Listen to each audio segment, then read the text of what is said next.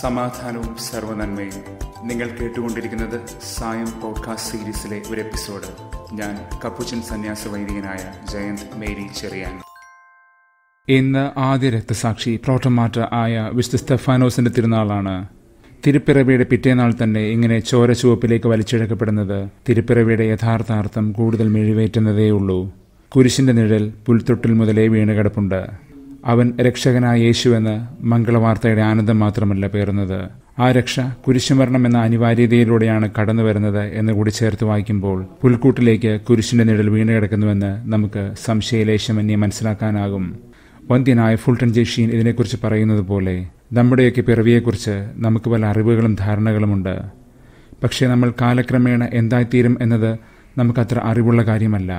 അങ്ങനെ നമ്മൾ അറിഞ്ഞതിൽ നിന്ന് നമ്മെ അറിഞ്ഞവരിൽ നിന്ന് ഇനിയും അറിഞ്ഞിട്ടില്ലാത്തവയിലേക്കുള്ള ജീവിത പ്രയാണം നമ്മൾ തുടങ്ങുകയാണ്. From the known to the unknown അതിൽ നനച്ചിരിക്കാതെ ചില കാര്യങ്ങൾ സംഭവിക്കുമ്പോൾ അതിനെ ആകസ്മികതയെന്നോ ദുരന്തങ്ങളെന്നോ ട്രാജഡീസ് നമ്മൾ വിളിക്കാറുണ്ട്. എന്നാൽ ക്രിസ്തുവിന്റെ ജീവിതത്തിൽ ഇങ്ങനെ ആകസ്മികതയോ ദുരന്തങ്ങളോ ഒന്നുമില്ല. അവന്റെ ജീവിതത്തിൽ സംഭവിക്കുന്ന ഏറ്റവും കഠിനമായ കാര്യങ്ങൾ പോലും. അവന്റെ ജീവിതം എന്നത് അറിഞ്ഞതിൽ നിന്ന് അറിഞ്ഞതിലേക്കുള്ള യാത്രയാണ്. From the known to known അവന്റെ ജനനം അറിയണമെങ്കിൽ അവന്റെ മരണം കൂടി മനസ്സിലാക്കണം. Christmas is a season and cross is a reason എന്ന് നമ്മൾ പറയാറില്ലേ? അങ്ങനെ നോക്കുമ്പോൾ വിശുദ്ധ സ്റ്റെഫാനോസിന്റെ രക്തസാക്ഷിത്വം അതും നാഥന്റെ മരണത്തിന് ശേഷം അധിക നാൾ കഴിയും മുൻപേ അതും നാഥനെ വിചാരണ ചെയ്ത അതേ സംഘത്തിന്റെയും ആശയങ്ങളുടെയും ഹൃദയകാഠിന്യത്തിന്റെയും മുൻപിൽ അവൻ മരണവിധിയിലേക്ക് തള്ളിയിടപെടുമ്പോൾ അത് വലിയൊരു അനുഭവതലമാണ് തുറന്നിടുന്നത്. അനുകരണീയമായ ഒരു മാതൃകയും ജീവിത നിയമവും. ഒരു വിശുദ്ധൻ ആരെന്ന് വിശുദ്ധ ഗ്രന്ഥത്തിന്റെ വെളിച്ചത്തിൽ പറഞ്ഞു തരികയാണ് ഈ ജീവിതം. വിശുദ്ധർ എന്നത് ക്രിസ്തുവിനെ ജീവിതത്തിലും മരണത്തിലും അനുകരിക്കുന്നവരാണ്. തങ്ങളുടേതായ ജീവിതാവസ്ഥകളുമായി ബന്ധപ്പെട്ടുകൊണ്ട് ഹെബ്രായ രണ്ട് പറയും പോലെ നമ്മുടെ സഹോദരനായ ക്രിസ്തുവിന്റെ സ്നേഹസ്പർശത്തിൽ ജീവിതം നയിക്കുന്നവരാണ് വിശുദ്ധർ. ഇന്നലെ ദൈവത്തിന്റെ ഈ ഏകജാതനായ ക്രിസ്തുവിനെ ആദ്യജാതനെന്നാണ് ഹെബ്രായർ ഒന്ന് വിളിച്ചത്. അതായത് നമ്മൾ ക്രിസ്തുവിന്റെ പിന്നാലെ അതേ സാദൃശ്യത്തിൽ നടക്കേണ്ടവരാണ് എന്ന് വിശുദ്ധിയുടെ പാഠം അവിടെ പകർന്നു കിട്ടുകയായിരുന്നു എന്ന് നമ്മൾ മനസ്സിലാക്കണം. യേശു മിഷിഹ മാത്രമല്ല പരിശുദ്ധ തൃത്വത്തിലെ രണ്ടാമത്തെ ആളാണ് എന്നുമുള്ള വിശ്വാസം സ്റ്റെഫാനോസിന്റെ വാക്കുകളിൽ നിഴലിക്കുന്നുണ്ട്. അവൻ സാവൂളിനെ പോലെ അതായത് പൗലോസിനെ പോലെ തന്നെ അതിസമർത്ഥനായ ഒരു യഹൂദ ഗുരു ആയിരുന്നിരിക്കാൻ സാധ്യതയുണ്ട്. അതുമല്ലെങ്കിൽ അവൻ അത്രമാത്രം യഹൂദ വിദ്യാഭ്യാസം ലഭിച്ചിരുന്നവനാണ്. ഗമാലിയറിന്റെ കീഴിലായിരിക്കാനും സാധ്യതയുണ്ട് പൗലോസിനെ പോലെ തന്നെ. പക്ഷേ അവൻ ചെയ്ത ശുശ്രൂഷകൾ ഡീക്കന്റേതായിരുന്നുവെന്ന് നമുക്കറിയാമല്ലോ. വിശക്കുന്നവന് വചനം വിളമ്പുക മാത്രമല്ല ഭക്ഷണം വിളമ്പുകയും ചെയ്യുന്ന ശുശ്രൂഷ. ഇന്നലെ നാം കണ്ടതുപോലെ വചനം മാംസമാകുന്നതിന്റെ ജീവിത പകർച്ചകളാണിത്. അവന്റെ പ്രതിയോഗികളുടെ മുൻപിൽ അവൻ വചനം വ്യാഖ്യാനിക്കുന്നത് ശ്രദ്ധിച്ചാൽ തന്നെ അവന്റെ ജ്ഞാനം വ്യക്തമാണ്.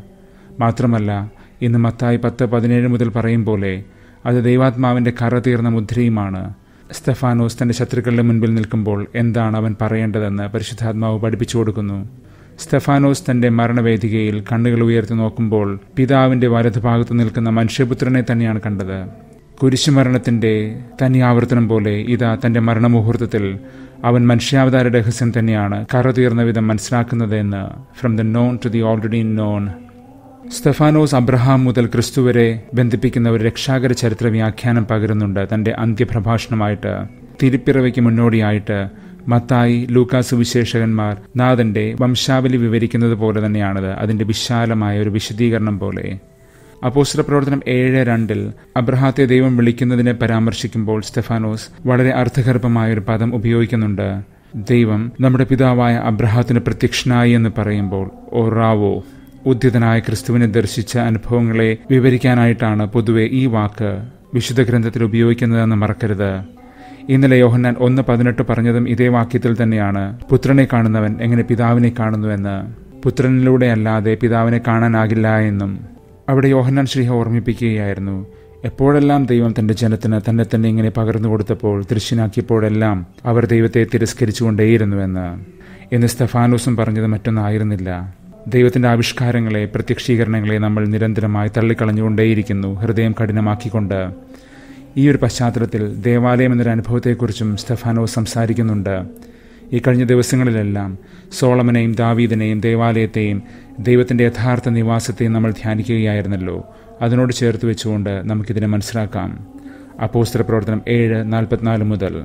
മനുഷ്യന്റെ ആലോചനകളും കർമ്മകുശലതകളും കൊണ്ട് നിർമ്മിക്കപ്പെടുന്നതല്ല ദേവാലയം. അതിന്റെ മഹത്വം അതിനാൽ സംഭവിക്കുന്നതുമല്ല. അതിപ്പോൾ സോളമനാണ് ദേവാലയം പണിതതെങ്കിൽ കൂടിയും.